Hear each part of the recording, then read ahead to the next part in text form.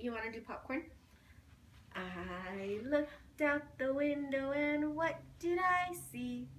Popcorn popping on the apricot tree. Spring has brought me such a nice surprise. Popcorn popping right before my eyes. I could take an armful and make a treat. A popcorn ball that would smell so sweet. It wasn't really so, but it seemed to me. Careful! Oh my god. oh, Lila, you tripped on Isn't your the reason they got this one so that people don't trip on it? Is it what? I just asked Brianne, where's the table? And she said we moved it so grandma doesn't trip on it.